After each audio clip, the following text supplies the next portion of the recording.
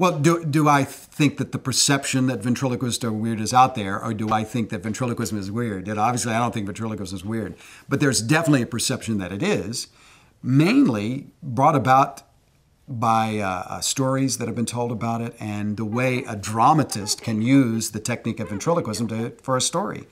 Um, I mean, if you're going to have a ventriloquist in a, in a plot, he's going to be a villain. I mean, is there any other way? You know, it's almost like you have to put a mustache on the villain. And I think it's because ultimately, um, the ultimate horror story is Frankenstein. It's the it's a life that you have created that then destroys you. And that classic theme of when does the when does Frankenstein kill its maker is ventriloquism. We're always waiting for that moment to happen on stage when the creation destroys the creator.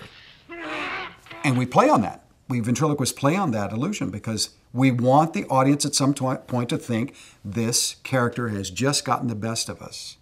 We may not be in physical danger, but emotional danger we are. It's saying bad things about us, bad things about them. There's, there's a, an essence that that's out of my control. And that's the illusion. So in itself, I guess it's kind of scary, you know. Um, but I think that there are a lot of scary accountants and there's a lot of scary, you know, plumbers. Anybody, any profession has its weirdos, you know. We just get to see more of an example of that with ventriloquism.